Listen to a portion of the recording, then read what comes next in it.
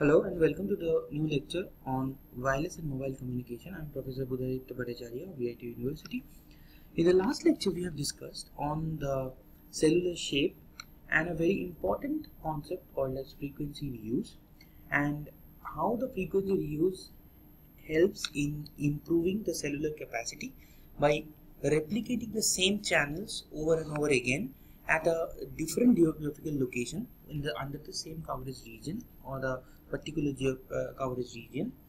And we have also observed that uh, using the cellular this frequency reuse concept we actually can replicate the same uh, channels uh, placed and, and can place them at a remotely different location without having that much of an interference and also it we have also proved that there is a certain relationship on a number of cells that can constitute one cluster and that is given by n equals to i square plus ij plus j square where i and j are two two integers which can take values from 0 to any. And in that context we have also discussed that n cannot be taken any value. It should be strictly restricted with this equation.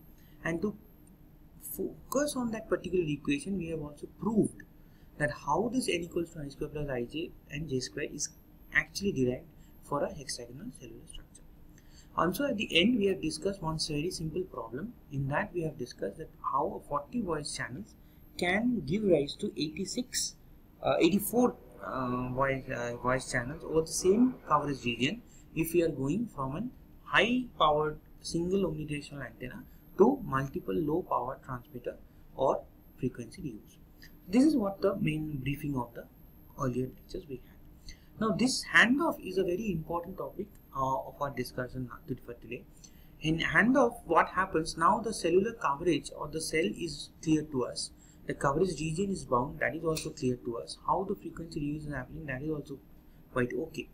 But now what we are having is that when a user who is near to this particular base station 1, okay, if he is near to this base station 1 and now he is in a position because it's a mobile device in in, in all probabilities it he will like move in this particular zone and he might come to the vicinity of a new base station out here.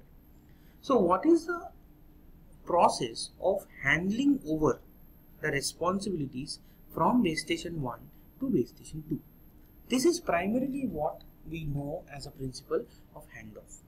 That the base station 1 will hand off the responsibilities or the signal attributes whatever the call was in progress to the next base station. Now this is what we have the three scenarios for okay? So this particular graph as you can observe or the diagram that this is a function of x on okay? So the x is going on here in with respect to this user. As it goes along to a particular region the signal quality from base station 1 is decreasing whereas the other base station the signal quality increasing increases okay? So that is the main reason why what we are observing that there should be an optimal point or an optimal zone or a scenario where this handover should take place. This is the basic point of observation for this particular lecture. Now you can see that we, I have mentioned three specific scenarios. The first scenario being that handoff may be made needed at the cell boundary based on the threshold level of the receive signal. Okay. So if the if, if, if the receive signal is very poor okay and suppose a particular threshold level is required to have a proper voice communication. If time permits we'll actually add one problem to this. You will understand what exactly i'm talking about threshold. So if suppose there is some threshold till which the voice quality will be fine and it is acceptable so what will happen that till that boundary the threshold should be checked and if it goes beyond the threshold then there should be a handoff. So naturally the handoff may be needed at the boundary of the cell. That's why the boundary of the cell is very important because you can imagine that when it's in the boundary the cellular coverage it is going beyond the or distance distance wise it is going far much away from the base station. So naturally the signal quality should drop. The second scenario is that it may be needed at the cell boundary, okay, based on the carrier to interference ratio. So basically again 18 dB in order to have a telephone voice quality. So suppose there is some carrier interference happening, okay, some interference is happening from the carrier signal. And that also is again at the boundary when we are reaching over reaching at the boundary we might need so whatever it is at the boundary when you are going beyond a certain coverage region of a particular base station whatever happens you need a base station eh, you need a base station which actually takes care of the ongoing call okay. and another part is that there is there might be some signal strength holes weak spots okay signal gaps in that also you might require a handoff. So it might be the scenario that under a particular particular uh, environment or on, on, a particular basis, like suppose you went to a region by while talking, you went to a region where it is it is shadowed or it is being obstructed by uh, the end user uh, by by some uh, obstacles. So it might need it that you are in a position where the first base station might not reach, but it is under the direct or at least uh, the better uh, coverage under the better coverage of another base station.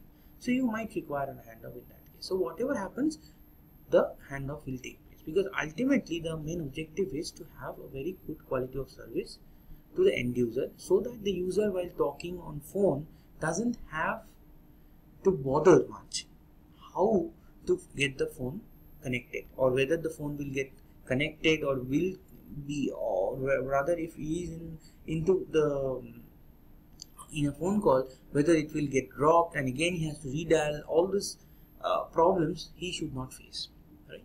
This is the main reason why handoff. Now the main criteria behind the handoff strategies is given by this particular very small trivial equation and that is this delta. So delta is a margin which is given by the PR handoff minus the PR minimum usable. Now this PR handoff minus PS table gives a very important judicious decision making uh, parameters because as you can observe that if this delta cannot be too large or too small, we will see that on the Vetter diagram also. Now this delta should not be too large or too small.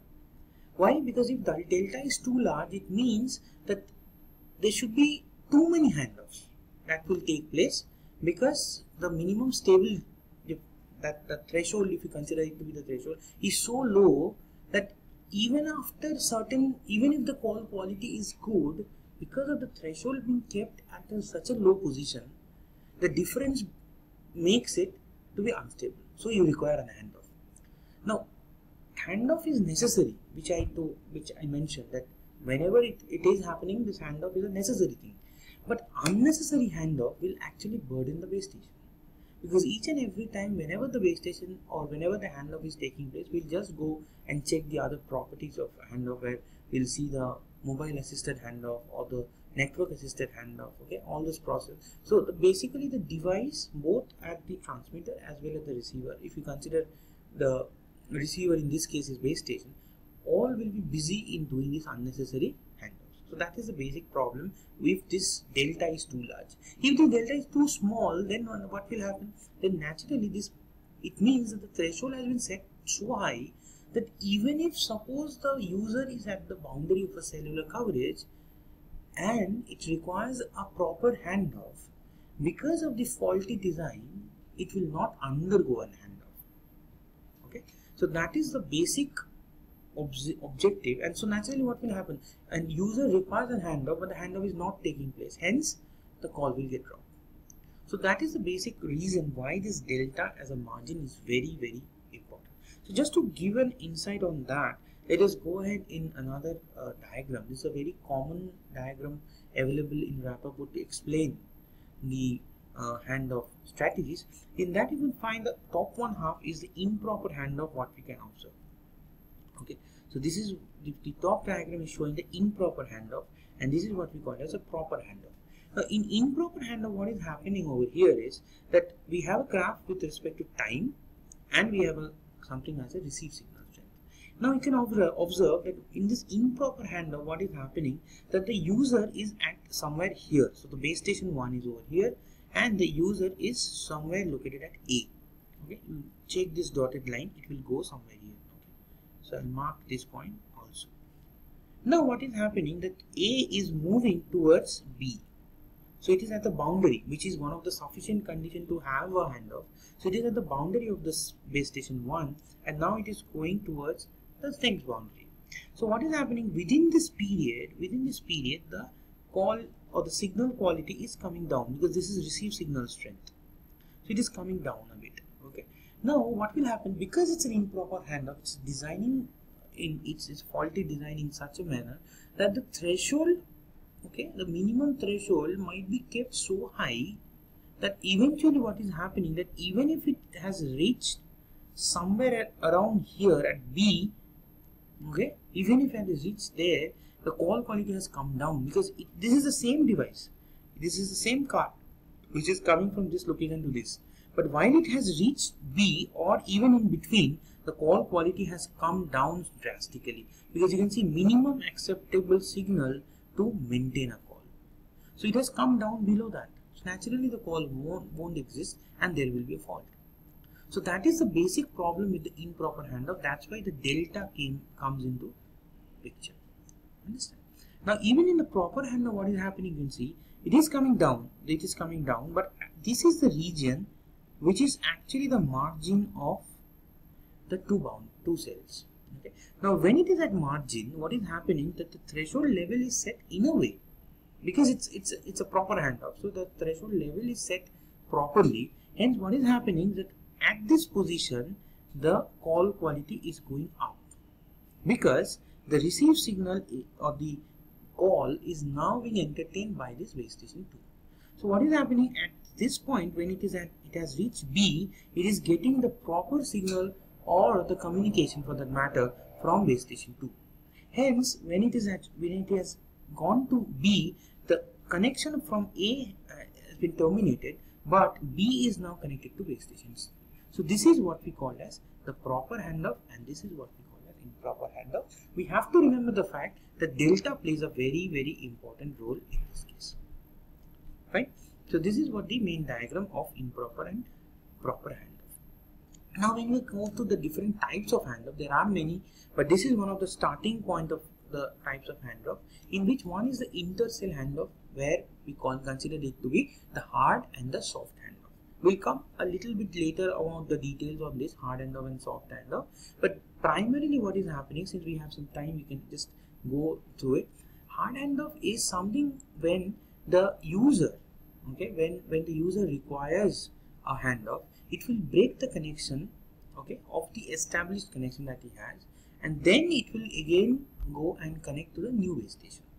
So it is basically break before make. So hard handoff we can call this as break sorry we can call this as break before make.